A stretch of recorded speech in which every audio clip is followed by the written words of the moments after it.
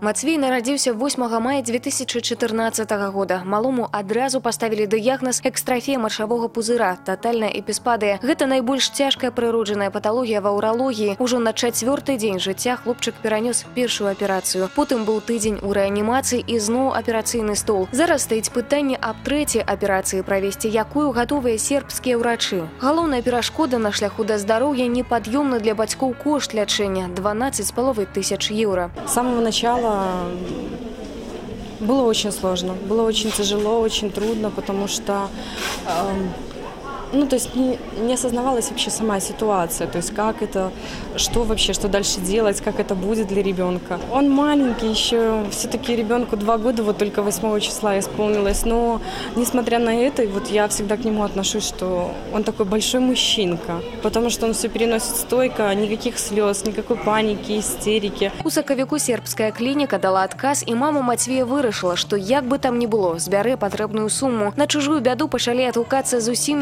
незнаёмыя людзі. За некалькі месяцаў удалося сабраць 6 паловай тысяч еўра. Наблізіць лічбу да патрэбнай вырашылі дапамагчы і беларускія артысты. У гомельскім гарадскім цэнтры культуры з гэтай нагоды адбыўся дабрачынны канцэрт. На сцэну выйшлі ўдзельнікі вядомых беларускіх і замежных тэлепраектаў, прадстаўнікі мадэльнай сферы і многія іншыя. Каждый раз, когда каким-то образом я слышу о том, что проходит благотворительный вечер, я всегда только за выступление, неважно в каком городе. Приехали сегодня из Минска, и для нас совершенно неважно, в каком бы городе такое мероприятие Ну да. проходило. Мы всегда рады приложить как-то руку, Свою руку. да, к мероприятию, вообще к сотворению какого-то добра, поэтому я считаю, что все должно получиться. Усе гэтыя людзі ў гэты вечар выступалі бясплатна. Грошы ад продажу квітку будуць пералічаныя на дабрачынны рахунак Мацвея. Дарэчы, усяго за некалькі гадзін удалося сабраць амаль тысячу еўра. Аперацыя адбудзецца 6 верасня гэтага года. Наперадзе яшчэ некалькі месяцаў, а гэта значыць, у маленькага мацюшы ёсць усе шансы стаць здаровым. Дапамагчы дзіцяці можаце і вы, пералічыўшы грошы на рахунак, які зараз бачыце на сваіх экранах. Я не ожидала, что можно встретить вообще тут вот таких, настолько таких людей, которые готовы так помо- ну, помогать. Хочу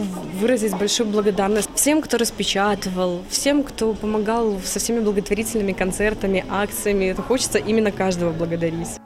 Ганна Кавалёва, Максим Славін, тэлерадыёкампанія Гомель.